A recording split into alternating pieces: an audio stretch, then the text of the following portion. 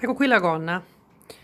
Siccome abbiamo la cerniera sul fianco dobbiamo per forza eh, tenere le cuciture non possiamo unire le cuciture ma dobbiamo lasciare cioè non posso uh, unire con la taglia cuci questi due lati insieme ma devo fare separatamente perché uh, a un certo punto devo mettere la cerniera. Quindi rifinite uh, la, la gonna.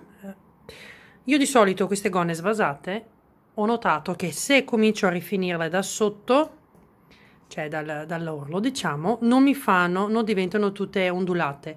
Se inizio da sopra diventano tutte ondulate. Ho notato questa cosa e quindi io sempre da sotto parto. Quindi un fianco lo chiudiamo tutto e l'altro chiudiamo una parte. Io di solito lascio circa 20 cm di apertura per la cerniera. Quindi con la cucitura dritta cominciamo con salda finiamo con salda a un centimetro e mezzo quello che avete messo di margine. Chiudiamo e apriamo le cuciture con il ferro da stiro. Adesso io faccio la ricciatura in vita perché io ho aggiunto la ricciatura. Se avete aggiunto la fate, se no fate, fate a meno. Quindi adesso io di solito inizio la ricciatura 3, 4, anche 5 cm dal fianco perché non mi piace, cioè sarebbe meglio non vedere la ricciatura che parte subito dal fianco. Per donne, per bambine va anche bene perché è un po' ingrossa i fianchi secondo me. Quindi io parto qua circa, faccio la ricciatura e dopo la distribuisco sul corpetto.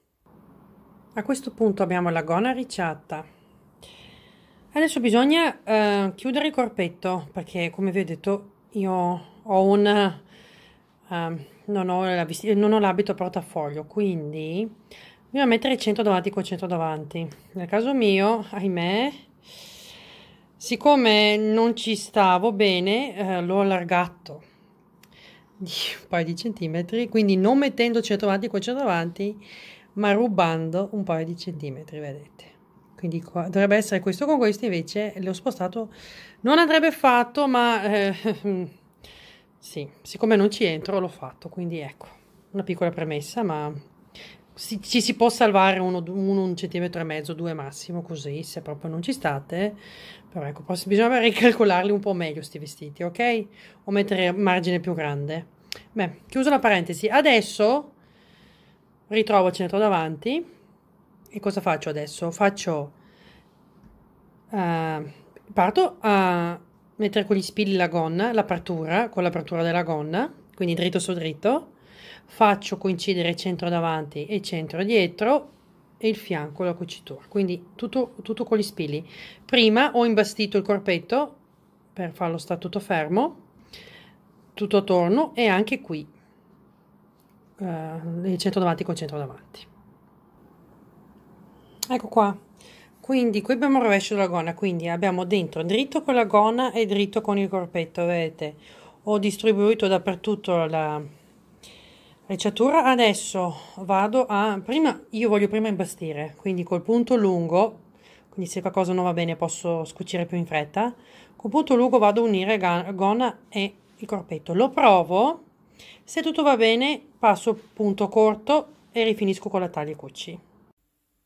Per quanto riguarda l'orlo della gonna, queste gode qua sasate, va fatto l'orlo rotolato. Quindi, allora, fate una cucitura o a piedino se non avete taglie cucci, quindi più piccola di un centimetro, 0,5-0,7, tutto attorno e vi farà da guida. Ci sono video dove lo spiego meglio, infatti ve lo linko perché adesso avendo una mano solo non esiste che riesca a fare. Qua ci vogliono due mani quindi io parto girando una e un'altra volta per quello si chiama orlo rotolato riesco a farlo con una mano. E tutto tono così pian piano lo faccio. Vi faccio vedere il video dove, dove proprio lo faccio dove si vede che lo faccio dall'inizio alla fine. L'importante è non cercare di stirare e non cercare di mettere gli spilli perché, non, perché diventate matte. Bisogna farlo man mano, pian piano, che si va avanti.